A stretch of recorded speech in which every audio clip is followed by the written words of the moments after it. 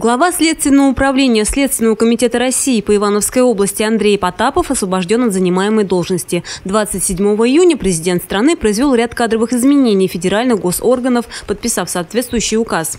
Новый начальник управления еще не назначен. Временно его обязанности будет исполнять Александр Подковырин, заместитель главы Следственного управления Следственного комитета России по Ивановской области. Как сообщили в пресс-службе областного ведомства, Андрей Потапов переведен в Астраханскую область на должность первого зама руководителя Следственного управления.